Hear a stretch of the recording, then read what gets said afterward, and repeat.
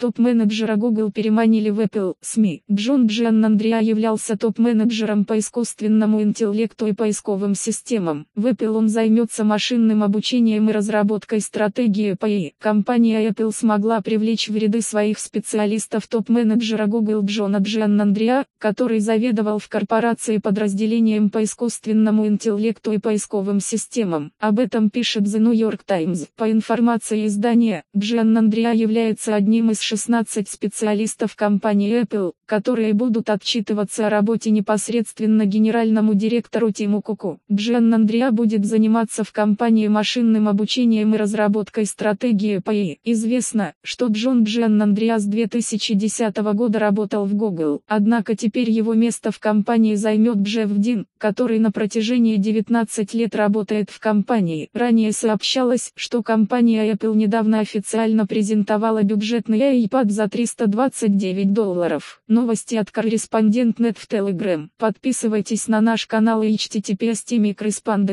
По материалам сайта Newsgro.com.